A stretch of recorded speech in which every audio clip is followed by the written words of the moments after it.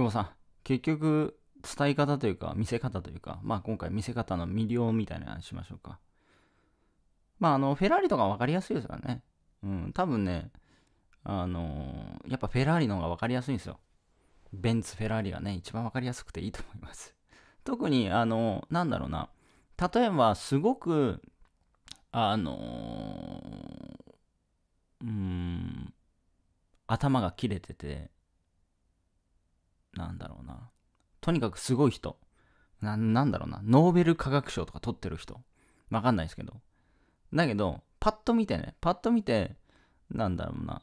あの、うん、身だしなみがダメだったら、うん、多分その、なんだろうな、ファーストインプレッションはきついと思うんですよね。うん。まあ、話していくと、ああ、やっぱすごい人だなってなるかもしれないけど、ファーストインプレッションのその 1, 秒で相手にこう思わせるっていうところは難しいでしょうね。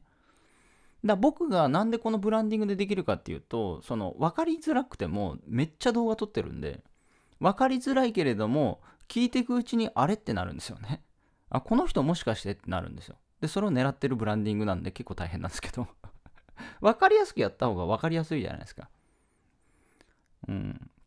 僕がだ、例えばフェラーリ買ってね、フェラーリでね、なんか、あの言ってればね。だから、あの、TikTok で若者の子が、その、フェラーリをブランディングで買うんだ、みたいなね。フェラーリを使って3000万稼ぎました、みたいなね、あの、いたんですけど、TikTok で あ、そう、青そう、青白王子の動画にも出てましたね。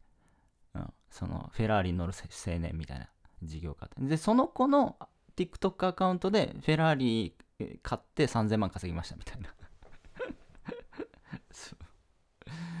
まあやっぱね、その、やっぱみんな分かりやすいなっていう。まあ当時僕もね、あの、会社でフェラーリ行きましょうみたいな。行くしかないみたいなね。いや、フェラーリ行くしかないみたいなね。与沢さんに太鼓だみたいなね。やってましたけど。でもね、あの、フェラーリ効果はね、絶絶大でしたね。めちゃくちゃ絶大、あの、広告効果でもすごく高かったですね。まあ、あの、車内では火の車でしたけどね。そう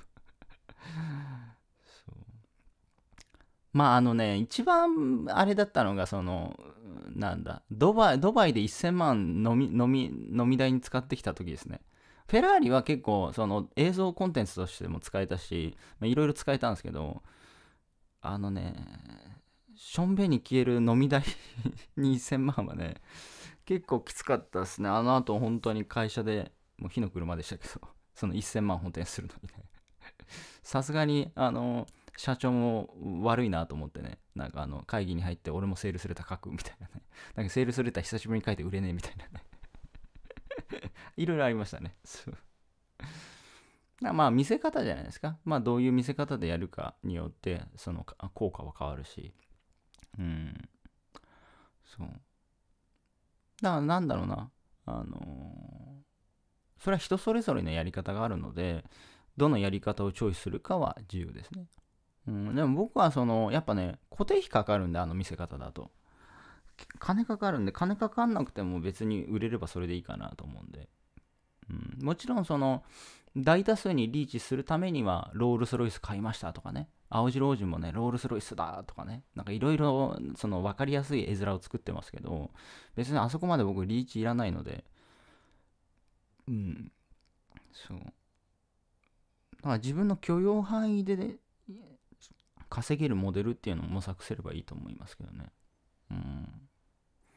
まあ、じ、なんかね、自分が好き、あとは自分が好きかどうかっていうのも大事ですね。なんかわざと嫌いで続けていくと結構固定費もかかるし、嫌いだし金かかるし、しんどいしみたいな。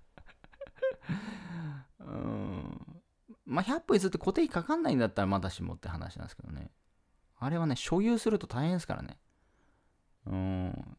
やっぱ、まあそのねレン、タルとかもありますんで あれですけど、あれ所有すると結構高いですからね。うん。そう。はい。まあ身の丈に合った感じでいいんじゃないですかね。身の丈に合った感じでやってちゃんと稼げれば。うん。まあすごくシンプルで、まあ僕もこじんまりやってますけど、うーん。まあ、来てくれた人に対してしっかりと対応すれば、うん、久保さんもそうだと思いますけど、一人一人に対応すれば、まあ、売れるんで、うん。売れますからね。なんかそのすげえ久保さんもそうだと思うんですけどめちゃくちゃすげえマーケティング手法を使ってるかっていうとそんな使ってないですよね。まあ唯一使ってるところとするならばフックのコピーぐらいじゃないですか。コピーライティングの部分でちょっと使ったりとかしてると思いますけど。うん。ね最新の久保さんは LINE アットもやってないだろうし、ね、メルマガももうやってないだろうし、ただ Gmail だけですよね。Gmail をなんか YouTube の概要欄に載せてるだけで、お問い合わせ来たら1人に対して30分ぐらいの動画撮って ご案内していく終了ですよね そうじゃないですか。なんか言ってたと思うんですけど Gmail だけですね。Gmail 置いとくだけってで、来たら1人に対して、あの、めちゃめちゃあの、プレゼンしていくっていうね。うん。まあ、いろんなやり方がありますから。うん。はい。いってらっしゃい。